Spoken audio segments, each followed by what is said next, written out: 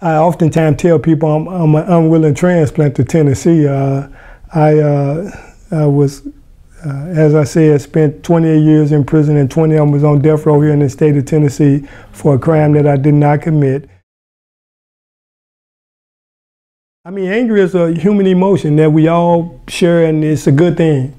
I think it's when we're angry, we motivated to get up and do something. You see what I'm saying? So, uh, so I didn't get rid of it. I think that, like I said, uh, I just became a bit more disciplined and channeled that anger into, uh, uh you know, trying to read law books and, uh, you know, do stuff to try to understand this process that actually had done what it done to me.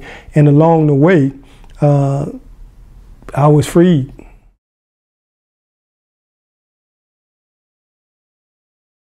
The thing that I knew though was that they couldn't get inside my head. And so part of my resistance was that even though that you got me in this colorless environment, doing what you're doing to me, you can't stop the color that's going on in my head.